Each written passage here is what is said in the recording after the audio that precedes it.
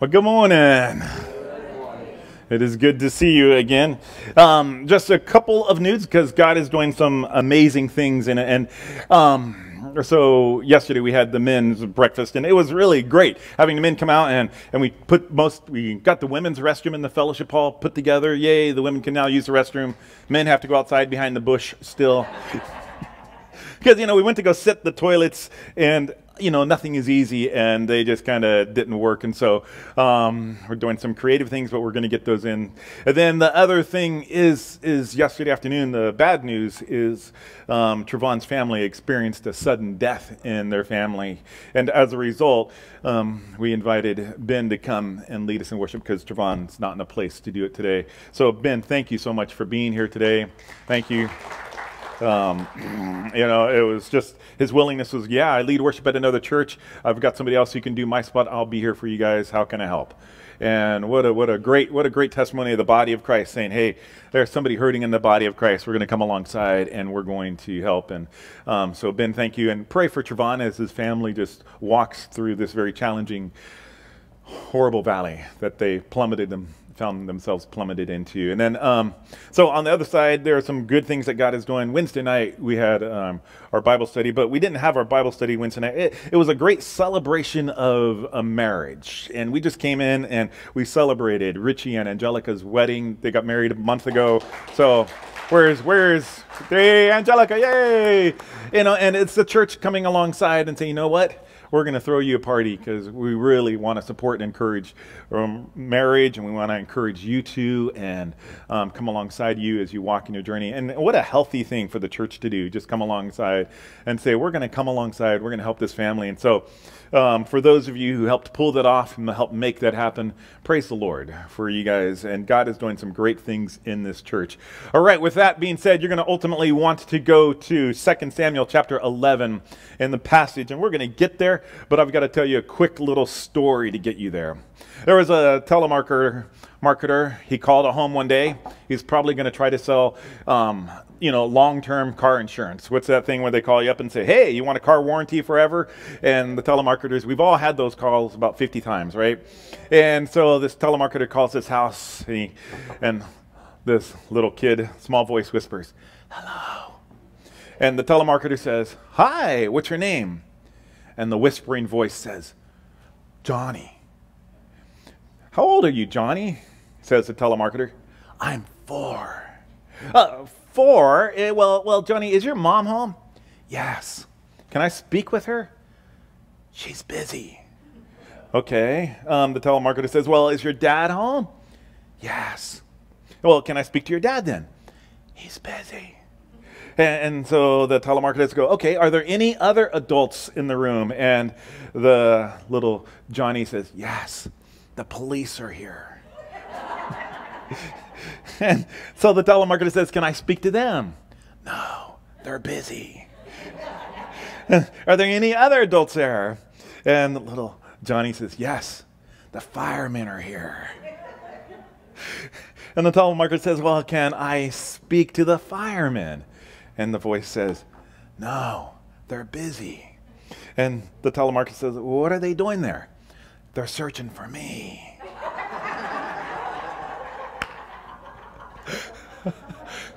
Uh, that's a good, simple joke that we can tell, and you guys can pass that along for free. And, and the, you know, the idea is little Johnny, he's there hiding. He's hiding, and, and he's trying to keep things away from other prying eyes. And in first, in 2 Samuel chapter 11, that's exactly kind of what David does. David tries to hide.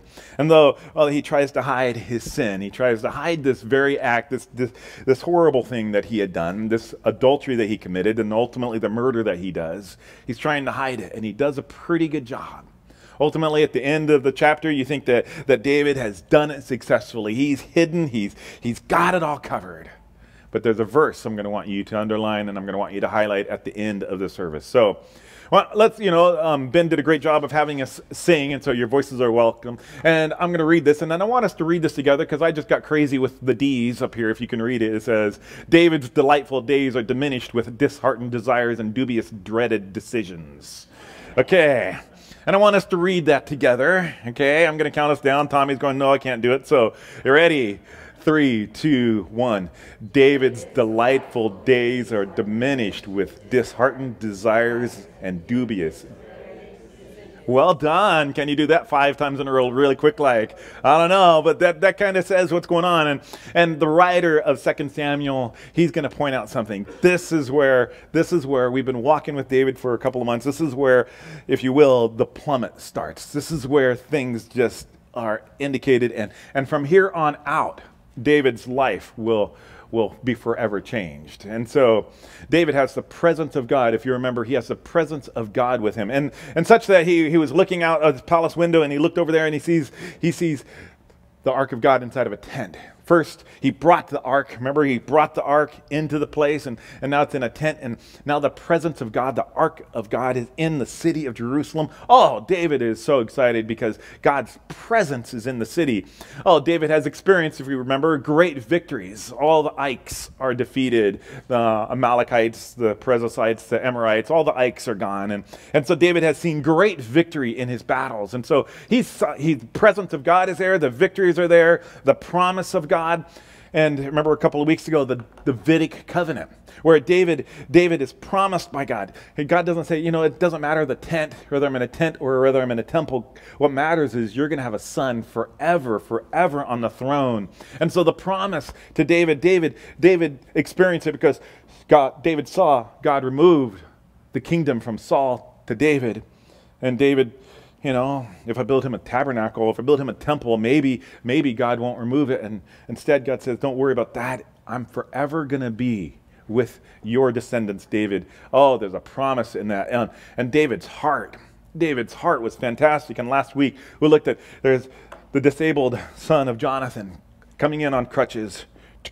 You can hear the clicking of the crutches on the marble floors as he comes in and he sits underneath the table at the king's table because David adopted Mephibosheth and, and he adopted him and brought him into the family. Oh, what a great heart.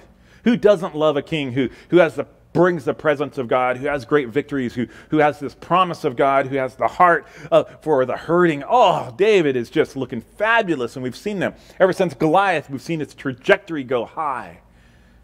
The fall is going to come hard. David has the prom- prayer, promise, and people. There's something about David where he just, it's just all going well. You know, and I, my, I, I thought about this message and I've tried to think through is this message just simply about David and Bathsheba and Uriah the Hittite, or is there something in it for us? Do we, do we think, okay, we've got prayer, okay, we got the promise, and we're good to the people of God? Is there something in this message for us? I think there is. I think it's greater than just an adulterous relationship. I think there's a truth in here that we need to unpack. And it starts like this. And the very first words of chapter 11 says, And it happened. Uh, uh, that's the very first words that are in there, Hebrew. You're going to see it repeats it twice. And you're going to see, And it happened and it happened. And so, so in other words, at one time, they don't know specifically the moment that it happened, and it happened. And the writer gives us this idea, and it happened. Same Hebrew word, verse 1 and verse 2. And it happened in the springtime, at the time when the kings go off to war, David sent Joab out with the king's men and the whole Israelite army. And so, what would happen back then? Agrarian culture, it, eh, farming was very important. People lived off the farm. And so, early, what they'd do is they'd plant all the fields. And then they'd get the guys together and they'd go have battles. But they wouldn't have battles without planting the fields, without, without farming the land first. And so it would farm the land first, get the seeds in the ground, and then you go out to battle. You don't have it in the middle of winter. You have it in the springtime. And the springtime's when the kings go to war. And look at it doesn't say David. David sent Joab out with that. He sent Joab. And he sent all of the army and all of the army and Joab. What did they do? They saw great victories. And they besieged Rabbath and the Ammonites. And in other words, they were seeing victory over there. And where's David when Joab is out fighting? And the text says, but. But if you got your Bible, you want to circle that word, but. Because that, that always, there, there's a contraction. But, this is going on, but. And then, oh, you've got to read carefully. You've got to look carefully what happens. But David remained in Jerusalem. Joab's out there, he's fighting, he, he's seen victory. And David, maybe he took a stress week off, I don't know. And David is just hanging out. Same word, as it happened. Same word there, the very beginning of verse 2. One evening, David got up from his bed. One evening. Not, not early in the morning. He, he wasn't waking up in the morning having his devotion time.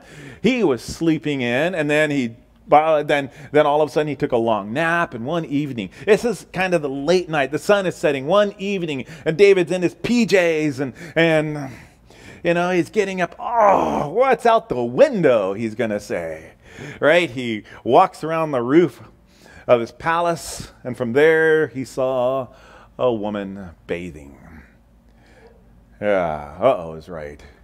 And David just doesn't look at that and go, interesting. David looks at that and goes, hey.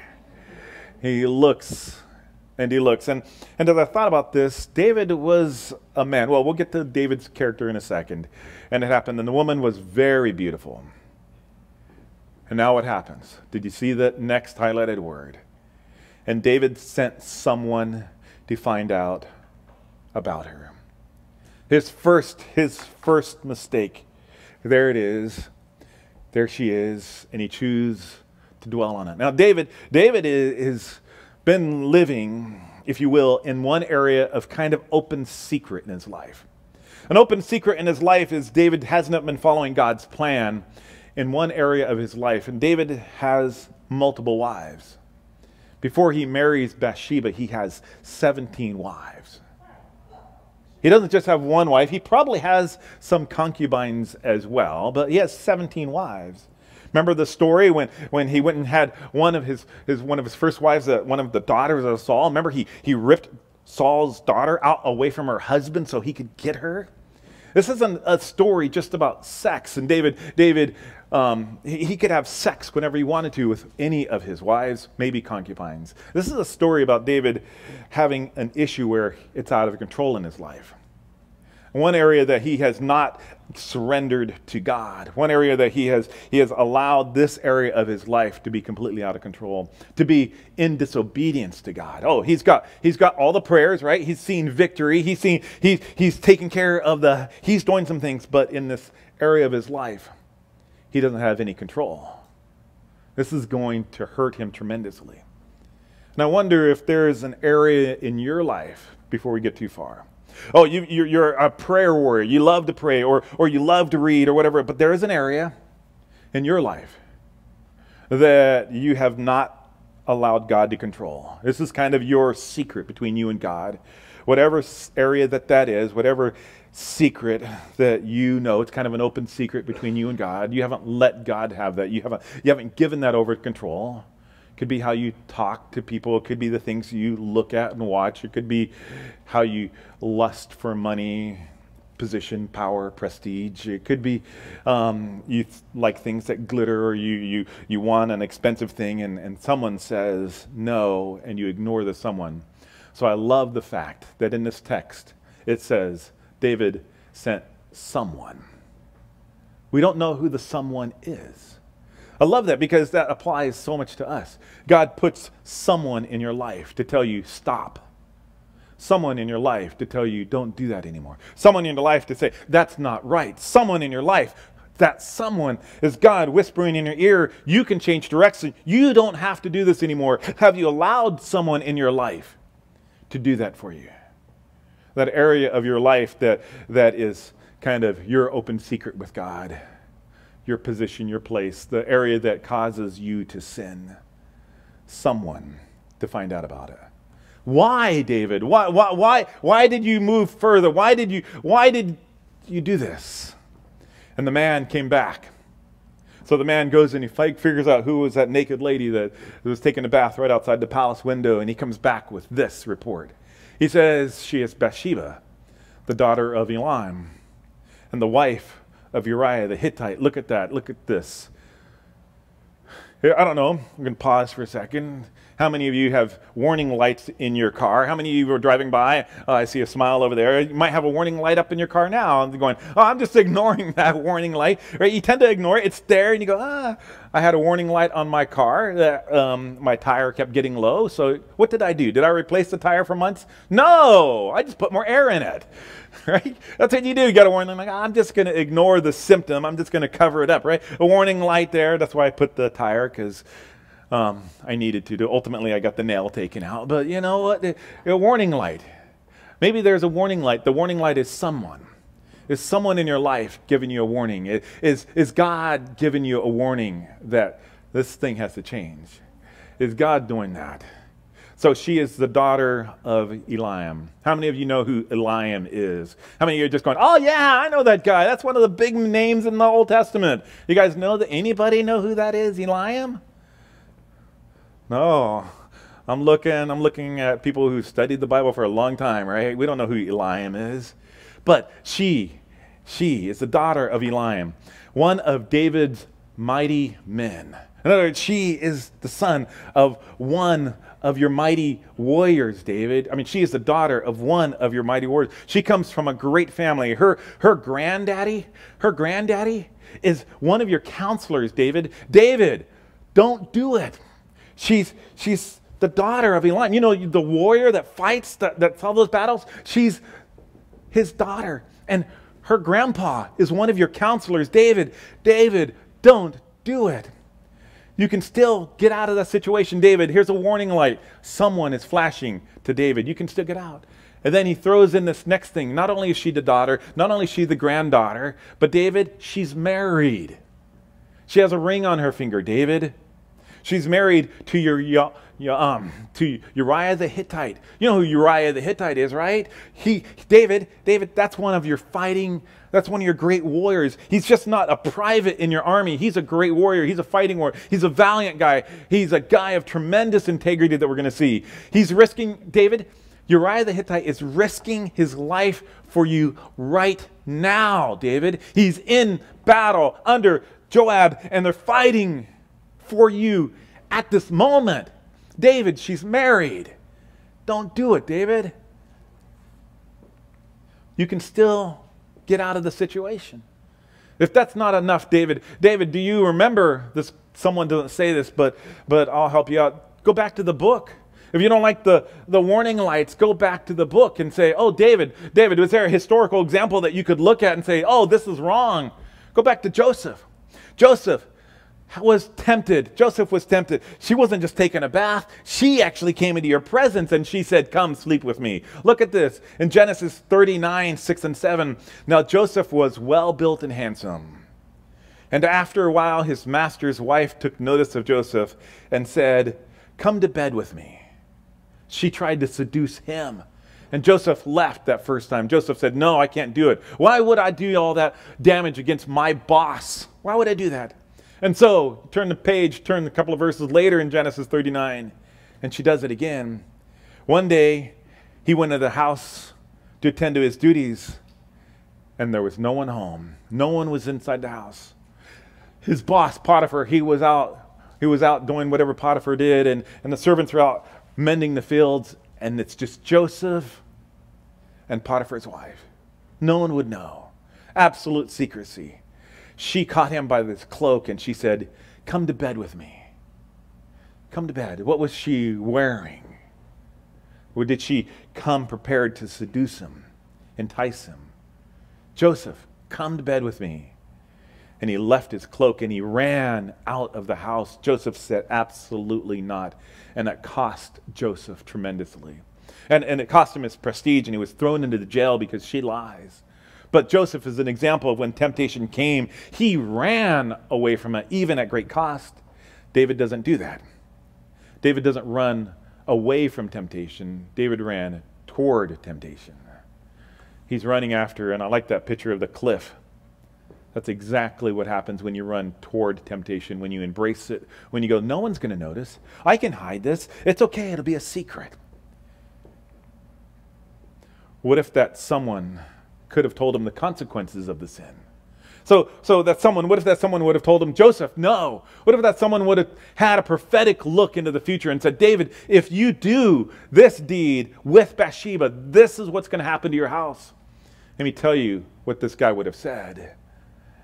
There'll be an unwanted pregnancy. David, you're not going to want to sleep with Bathsheba because she's going to become pregnant. David, you're not going to want to do this because once she becomes pregnant, you're going to end up murdering a trusted, loyal, faithful warrior. You're not going to want to do this, David. David, you're not going to want to do this because that baby is going to die. David, David, will you can you tell the future? If I could tell you the future, no, David, don't. David, not only that, but but the promise, you got another promise coming from the Lord. It is that the sword will never depart from your house if you do this, David. If you do this, David. If you kill Uriah and you sleep with Bathsheba, and you try to hide that sin, David, the sword will never pass from your house. And once the sword enters your house, your daughter will be raped by her brother. Do you want that, David? David, one of your sons will murder another one of your sons. The sword will never depart from your house. David, if you do this, David, if you do this, one of your sons will start a civil war. David, if you do this, one of your sons will follow your example of the lack of self control and will lead much of Israel away from God. Church, I don't know if the that something that you're thinking about in your mind. I don't know whether that thing that you're hiding from, that, that, that known secret that you wrestle with, that, that issue, whether it's the words you use and, and how you speak about other people, and you just continually do it. You don't think God's paying attention. You don't think God's watching. You don't, you don't worry about that but you're kind and considerate. You help the poor. You, you, you pray for people. Oh, but that open sin, if you knew the consequences, the people whose reputations you've ruined. And, maybe if you could see the results of your sin, would you continue to live in it?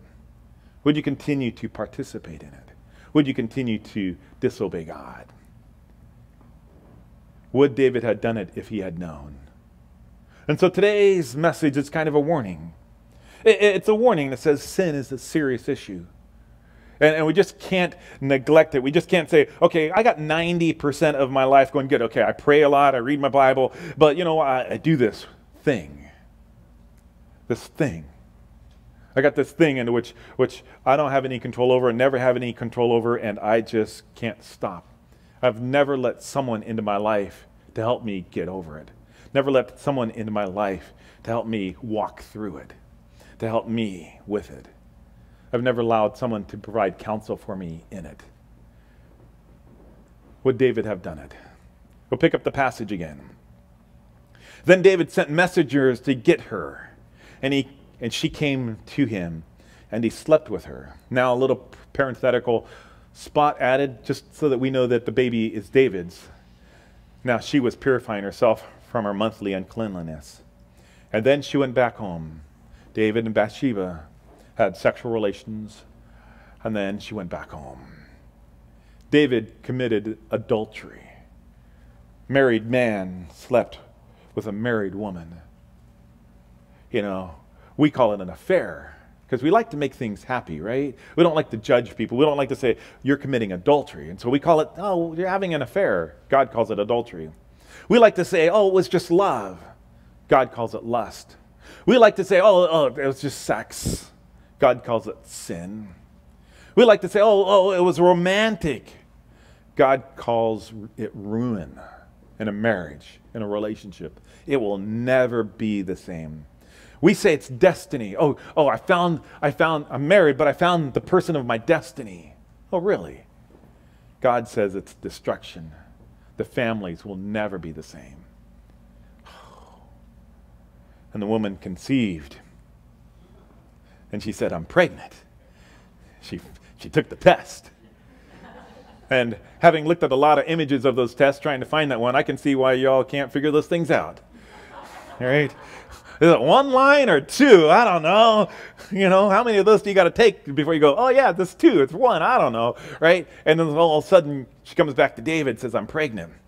And David says, he panics, he plans, and he plots.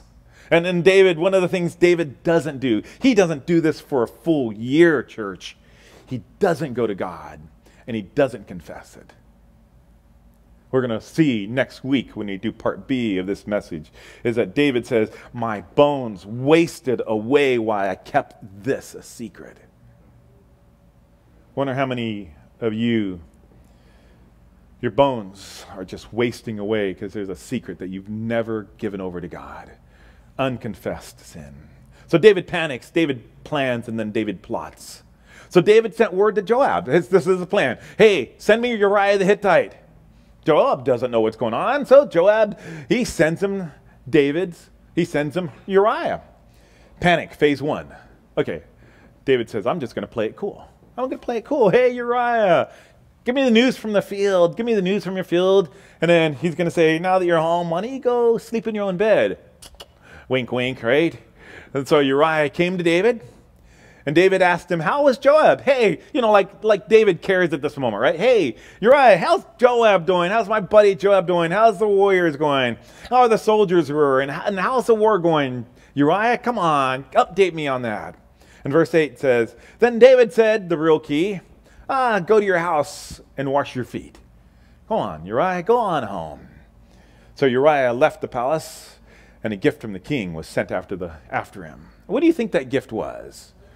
Yeah, a little love wine, right? Maybe, I don't know what that gift was, but David's trying to prime the pump. And, but he's talking to Uriah the Hittite. But Uriah, he slept at the entrance to the palace with all of his master's servants. Uriah slept on the ground with his mat in front of the palace, David's home with all of David's servants, and he did not go down to his house. Uriah the Hittite, what a man of great integrity.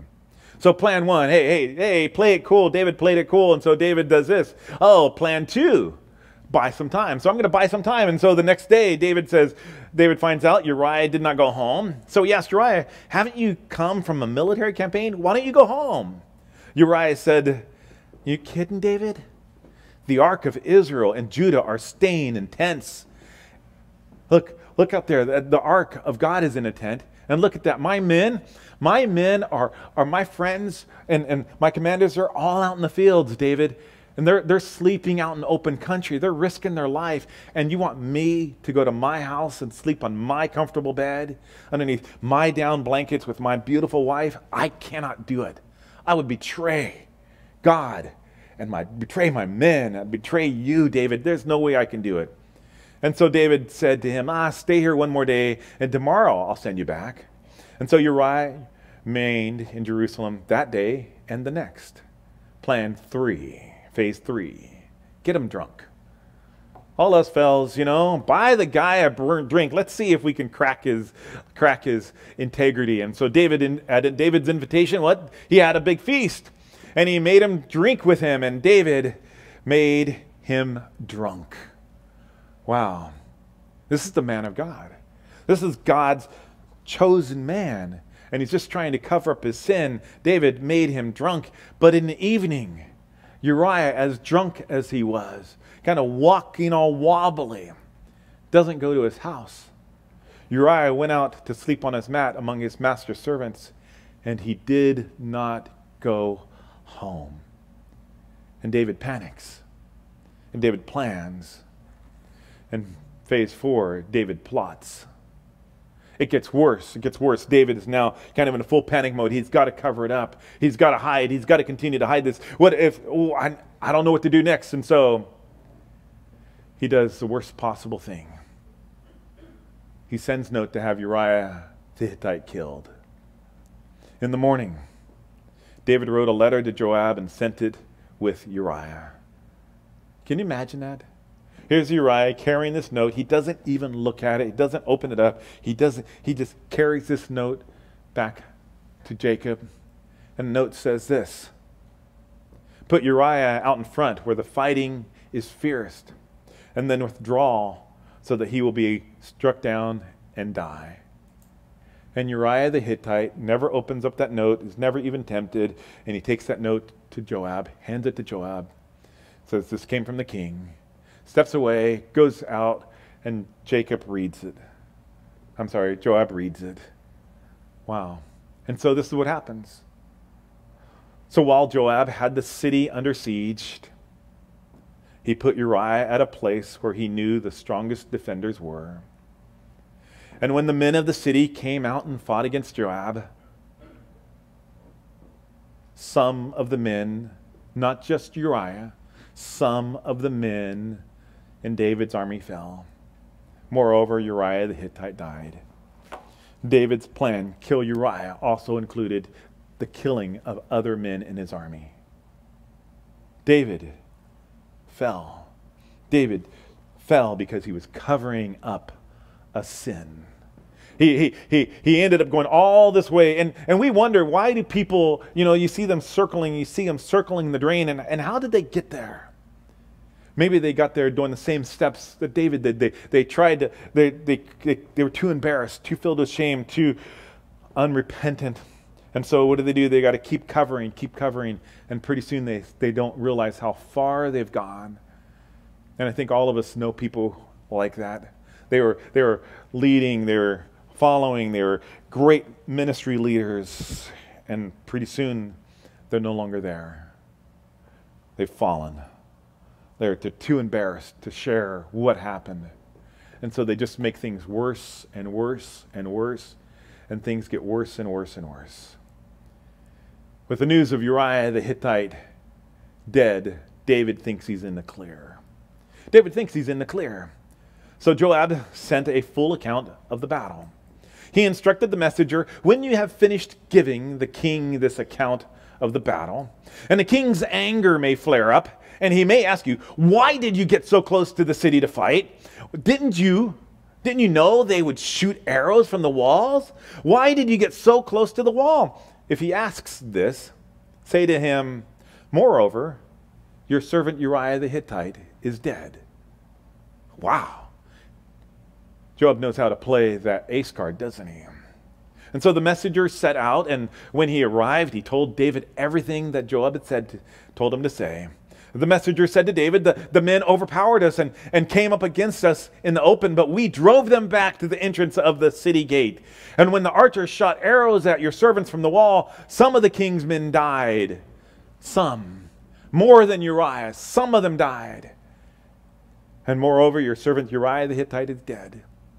And David's response, he thinks he's in the clear. David's response is, No one will know about me and Bathsheba.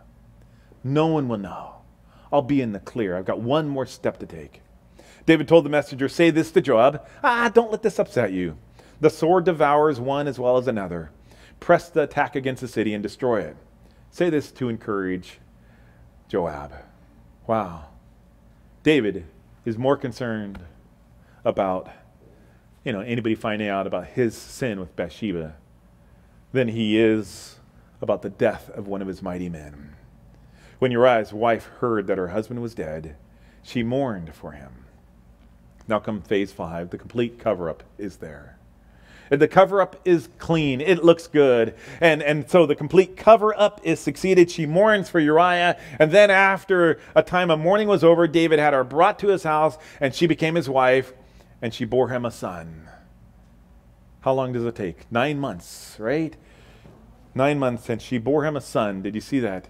And she bore him a son. It took time. This is this is a period of time. It wasn't just all this didn't happen in a week. A period of time. David is is leaning into his sinful behavior. He's leaning into this this issue, and and it worked.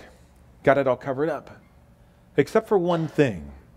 Verse twenty-seven at the end of that verse, it says this But the thing David had done displeased the Lord. Oh,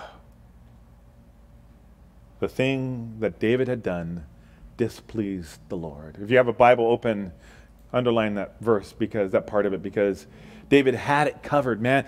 Nobody knew. This is great. I'm married Bathsheba. You know, maybe some of the servants are doing, I'm, I'm counting on my fingers of, of when you said I do versus when the baby came out. And they, you know, they're not adding up. I don't get it. And maybe some of them are adding that up, but you know what? He feels like he's got it covered. They're his servants. Who cares what they say? David's good. Life is good. It's been nine, ten months. I got a boy. Yay, I got a baby boy. But the things that David did displeased the Lord. We talked about you. Maybe there's something in your life. Maybe there's not, but maybe there's something in your life. I was reading in my devotions this verse this week, and it said this What is mankind that you make so much of them? That you give them so much attention? That you examine them every morning and you test them every moment? Church, there's not a one of you who can hide anything you do from God. There's not a person in here who can have a secret sin away from God. God knows everything. He's watching you.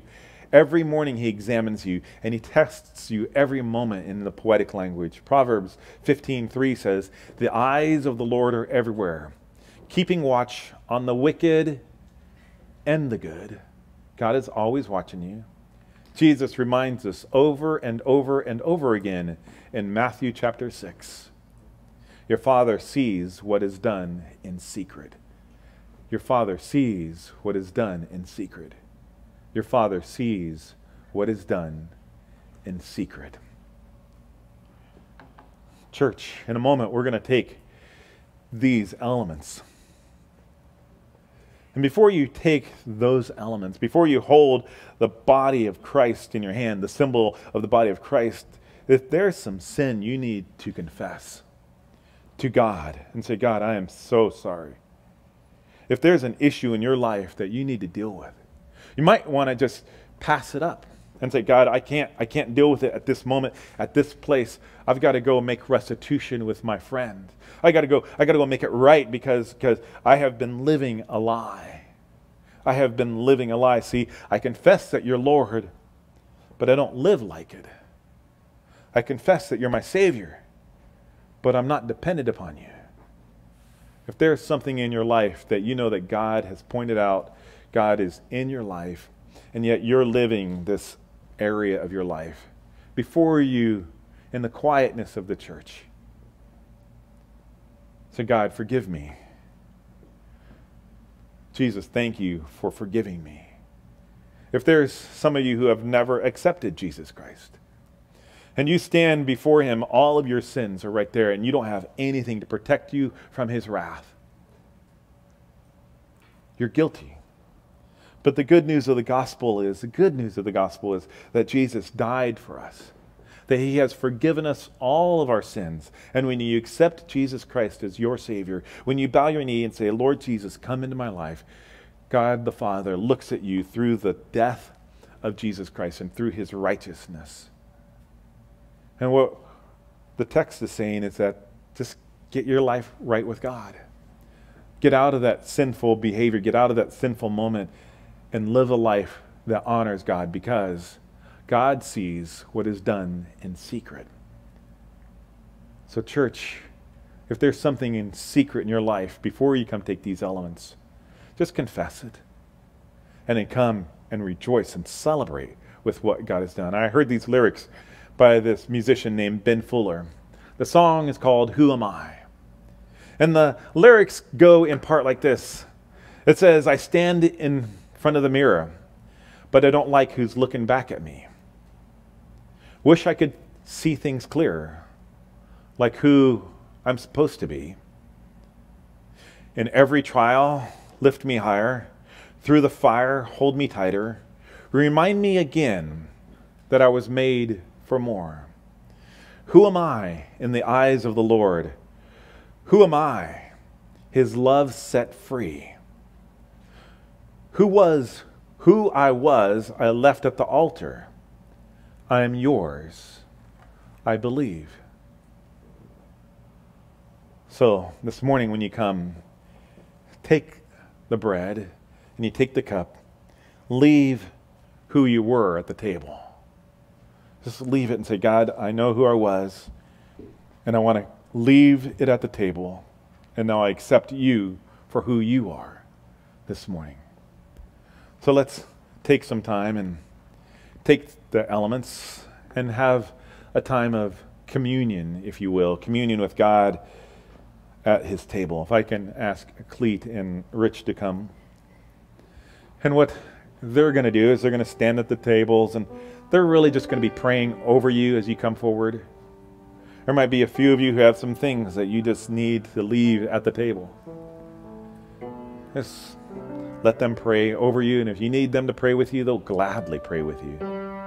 And then come, take a cracker, take a cup, and after everybody has the cup, everybody has the cracker, we're going to eat this in unity together knowing that it is only by the grace of God, the absolute grace of God, that we can take the bread and break it together. We can take the cup and drink it together. None of us are righteous on our own. It is only through the death, burial, and resurrection of Jesus that we can come to the table. So if you've accepted Jesus Christ and you love Jesus Christ, come to the table, get the elements, and come, please come forward.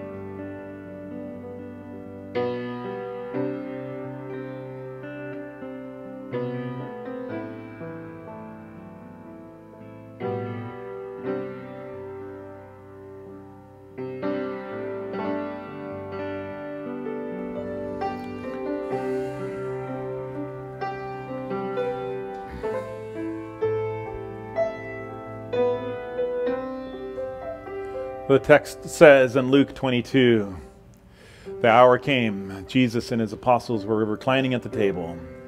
And he said to them, I have eagerly desired to eat this Passover with you before I suffer. For I tell you, I will not drink it again from the fruit of the vine until the kingdom of God comes. And he took the bread, and he gave thanks, and he broke it. And he gave it to them, saying, This is my body, given for you. Do this in remembrance of me our church, what we love to do is we love to take the bread, open the bread up, and love to break it, reminding ourselves that He is broken for us.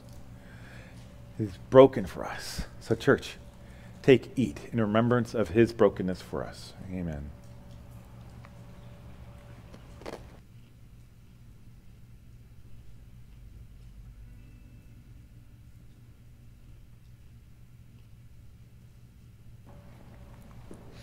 And then, same way, after the supper, he took the cup, saying, This cup is the new covenant in my blood, which is being poured out for you.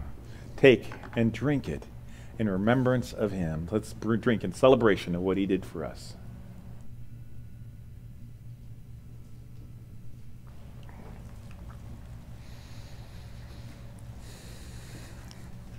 I always love this time at the table time where the church comes together and they remember what Jesus has done for us. Not just what he's done for me, but what he's done for us. And we can taste his goodness. We can taste his love. We can taste his grace flowing through us. And one of the ways that we express the grace of God is sometimes there are people who need just a helping hand. And so every Sunday we have this elder fund. You probably got an envelope when you came in, just an elder fund. That just allows us to help people who have a need. You know, whether it is 30 bucks because they just need gas, well, now it's 50 bucks because they just need gas, or um, they have problems making the rent. And so, because of your generosity in the Elder Fund, we've been able to help many people. So make sure that you put the regular offering and the elder fund in the silver mailbox right by the exit door as you leave. Let me pray for us, and then Ben will close us in a song. Lord, thank you for today. Thank you for this opportunity to taste how good you are to us. Lord, thanks for your forgiveness and your grace in the midst of this moment. Lord, thanks for your forgiveness for those sins that someone has told us about. And Lord, the fact that we now just need to obey and to listen. Fill us, Lord, with your presence as we are lights to those in the dark world. In your name we pray. Amen. Hey, thank you very much for watching. There are just a couple of steps that we want you to take. And if you have your phone with you, just scan the QR code, or if you're watching on your phone, simply tap on the link. The link will take you to a couple of things. One, a place to donate. It's always important that we're faithful in giving back to God. If He has blessed us, we're blessed to be a blessing. So we would ask you to give generously to the church. Two, to connect with us. Let us know who you are. Let us know who you are. And three, how to pray for you. We love to pray for you, and so we, uh, I can testify I've seen God work miracles, and so we'd love to see and join in prayer for you. Also, we'd love for you to come and visit. So just make way and come on a Sunday morning and visit. That way you get to see the live version of it instead of the live stream version of it. And if you have any questions, feel free to text those as well. But make sure that you subscribe. That becomes important to us. And make sure that you also like this video. The more people that like the video, the more people it will reach. So thank you very much for watching and have a blessed day.